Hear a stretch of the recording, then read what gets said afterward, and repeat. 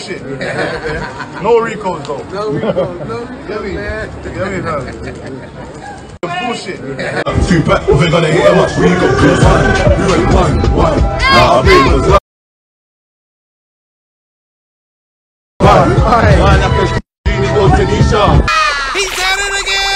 What's good, my little me? Welcome back to another lovely, beautiful, sexy, amazing video. The equally lovely, equally beautiful, equally sexy, and equally amazing lit. I already know what time it is. Now let's go.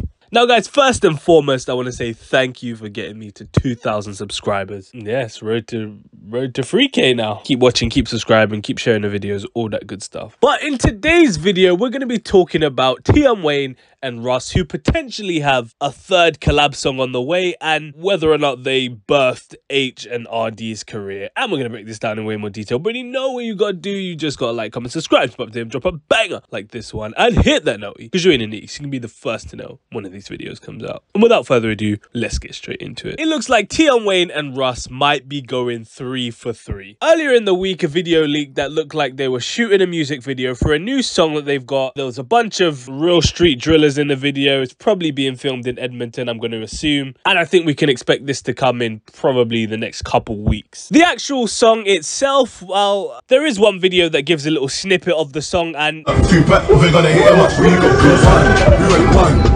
Two back, we're gonna hit him up. We got good one. We went one, one. Nah, baby, was one. to be honest, it does sound a bit decent. I'm not gonna lie. It's not gonna be winning a Grammy or anything like that or a Brit Award, but it just sounds like one of those cool, bumpy drill tunes to to set off the summer, which I think honestly we've been kind of lacking this year. And of course, in the song, you can still hear Tion Wayne doing the infamous thing of shouting random women's names. With I think these ones were called Tan Tanisha and Bonquisha, and God only knows what other names they're gonna use in this song. But essentially, when this snippet of the new Tion Wayne and Russ song was posted, I saw a comment of someone saying they need to sign the next white boy they put on the remix. Which, if you didn't know, is of course in reference to Aitch and Arrdee, who were both featured on the Keisha and Becky and Body remix, respectively, and well, you know, the rest is history. So it got me thinking. Did Tion Wayne and Russ really make Aitch and Arrdee's career? Did they essentially put Arrdee and Aitch on? Now, personally, I'd answer that question with a yes. I believe both of those artists gained significant amount of notoriety from being featured on those songs, and without that feature, I don't know if I could confidently say that those artists would be in the same position that they are today. They'd probably be a lot worse off, let's be real. But I'm going to do a bit of a deep dive into exactly how. Now, first, let's take a look at it from the perspective of Aitch. Of course, Aitch was featured on the Keisha and Becky remix that came out way back in 2019, with his verse being the first and, of course, the most prominent. It was the standout verse on the remix. It was catchy. It had some witty lines. I believe the show me a magic trick, something, something, dick, something like that. Pause.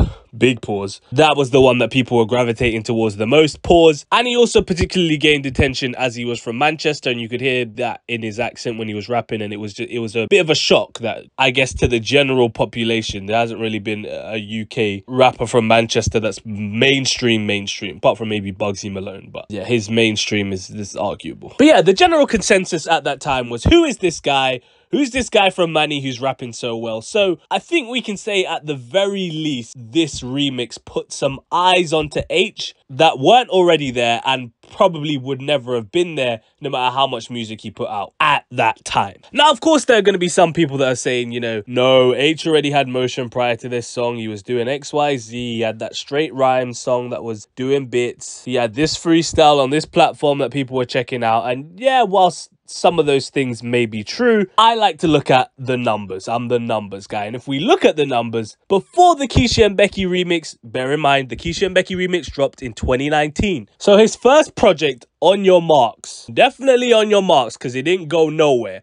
It didn't chart in the UK and it didn't chart in Ireland either. And then if we fast forward to after the Keisha and Becky remix, in fact, this is at the height of his buzz. His next project goes number three on the UK chart. And that project is H2O. I think that project's even silver now as well. Now, if we look at his singles, before the Keisha and Becky remix, he released six singles. And I think even if these singles had a GPS, none of them would be able to find their way to the UK charts because it is looking absolutely bleak on these statistics. But then if we fast forward to after the Keisha and Becky remix, his first single nearly goes number one. The second one goes number eight, and they're both. And then he gets on the Rain song with AJ Tracey and Tay Keith, which let's be real, that collab wouldn't have happened if he didn't get on the Keisha and Becky remix. I'm just being honest. And that song also goes number three and also goes platinum in the UK and Australia. So I think even Stevie Wonder doesn't have to wonder that Aitch definitely owes a lot of his success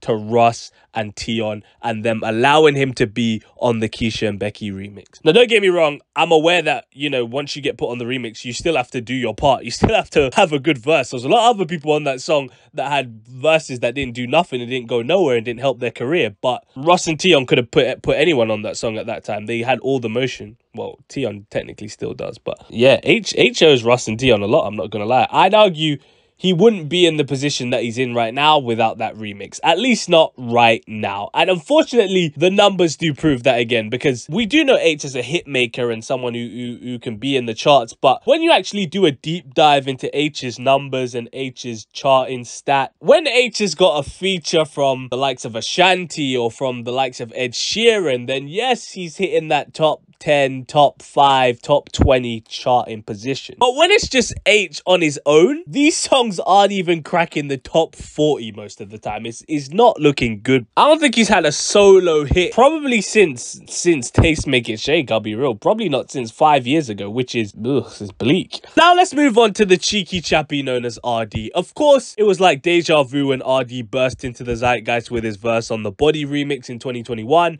Again, that verse was a standout verse on that song, went super viral on the likes of TikTok, Twitter, Instagram, blah, blah, blah. And he was partly the reason why the song actually went to number one. In fact, I'd credit him with a lot of the reason why that song went to number one, to be honest, just because that verse was super viral. And yeah, people immediately realized that they were trying to pull another Aitch situation and just get another, I guess, get another white rapper and give him a shock value verse and, uh, and hope that it blows up again, which shocking to attempt and even more shocking that it actually works because Arrdee was arguably rookie of the year that year, I'm not gonna lie. And of course, I meant no racial disrespect when mentioning Arrdee's ethnicity, but we can't not admit that that was at least some of the reason why both Aitch and Arrdee's verses blew up in the way that they did. At least that was one of the things I heard people talking about when they discussed those two individuals. It was like, who's this Caucasian rapper? Everyone else, they're like, oh yeah, his verse is hard. Like, oh yeah, that Caucasian rapper, he's hard. Like, they, that's just how it is in rap, let's be real. But I digress. Prior to this, though, I think it's safe to say that Arrdee wasn't exactly a household name. I mean, he had a bit of buzz buzz. You know, some of songs were making a bit of noise on YouTube and things of that nature, but I don't think he had anything that if you played it in the club that one, everyone would know, and two, everyone would vibe to. You know I mean? I don't think he had songs like that yet. And again, there's going to be some people that disagree with me on that as well. They're going to think Arrdee was, you know, already heading in this direction prior to this body remix coming out. So again, we're just going to take a look at the numbers and we're just going to make all of those people look like absolute buffoons because I live for doing that. And just like a buffoon, we actually can't see any singles from him prior to Body because he hasn't even listed any as singles on his Wikipedia. I mean, if that isn't a sign already that Arrdee owes, owes Russ and Tion, then I don't know what is, bro. I mean, obviously he had songs like 6 a.m. in Brighton and he had that cheeky bars. I believe that was a freestyle or something like that. And, uh, you know, these songs are, are popular now because they were kind of released like just before he blew up. So they, they, ca they kind of ran up even more numbers because when uh, Arrdee was new in the scene, everyone starts looking up, oh, let me hear more Arrdee music, and they start finding these songs that were released recently. But I guess songs like this one that I'm going to put on the screen now are, are more of an indication of how bad he was doing prior to, well, not necessarily bad, but, you know, he wasn't, he wasn't charting the way that he is now, you know what I mean? But then post the Body remix, his first single straight out the gate goes number six and is platinum. Then he gets a top 10 with Tion Wayne.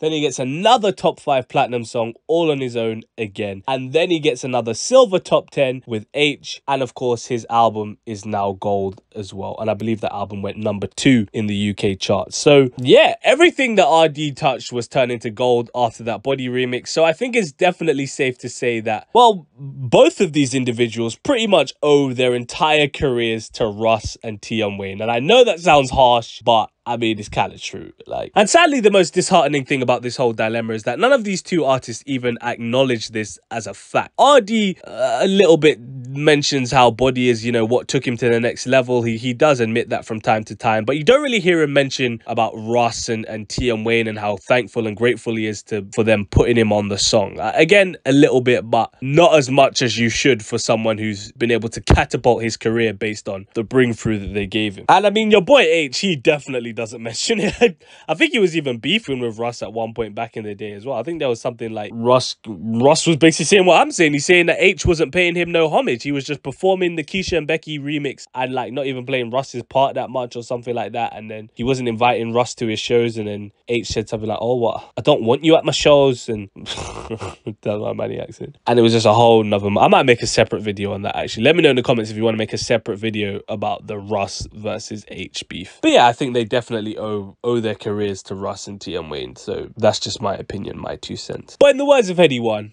It's a bit of a sticky one still. but let me know if you think about this in the comment section down below. What do you think about this theory that I've come up with? Do you agree with me? Do you disagree with me? Let me know in the comment section down below. Don't forget to like, comment, subscribe. On the road to 2,000 subs, you already know what time it is. Oh no, sorry. We're on the road to 3,000 subs, you already know what time it is. You can follow my personal IG at the Omelette INT. If you care about what I do, I'm not making these bangers for you. I bet. Peace. Oh, you ain't know I could sing?